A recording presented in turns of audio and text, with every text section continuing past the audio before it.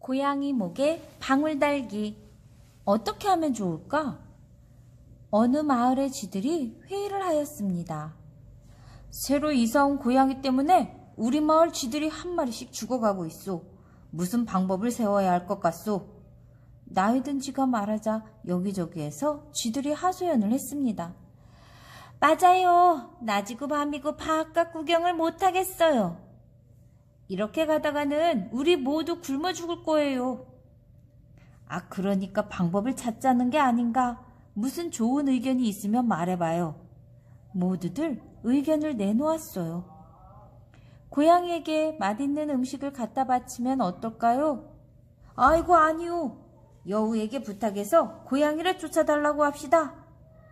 아무리 회의를 해도 그럴듯한 방법은 하나도 나오지 않았습니다. 모두들 한숨만 쉬며 걱정하고 있는데 어린 생지가 앞으로 폴짝 나섰습니다. 저에게 좋은 의견이 있어요. 고양이의 목에 커다란 방울을 달아주는 건 어떨까요? 그러면 고양이가 걸어 다닐 때마다 딸랑딸랑 방울 소리가 날 테니까 우리들은 방울 소리만 나면 재빨리 달아나 숨을 수가 있잖아요.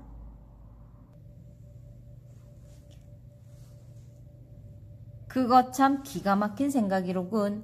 모두들 어린 생지의 의견에 감탄하며 박수를 쳤습니다. 이젠 안심하고 살 수 있겠다며 법석을 떨었죠. 그런데 맨 뒤에서 지켜보고 있던 한 늙은쥐가 말했습니다. 여러분, 조용히 하시오. 무척 좋은 방법인 건 틀림없지만 한 가지 어려운 문제가 있어 문제가 있다는 말에 쥐들은 놀라서 모두 눈을 동그랗게 떴습니다. 누가 고양이에게 다가가 방울을 걸겠소? 아마 몇 발자국 다가서기도 전에 고양이의 날카로운 발톱에 목숨을 잃을 것이오. 누구 용감하게 나설 친구 없소? 쥐들은 아무런 대답도 하지 못했답니다.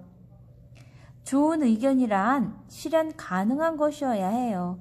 실천이 불가능한 의견은 아무리 좋은 생각이라도 아무 쓸모가 없죠.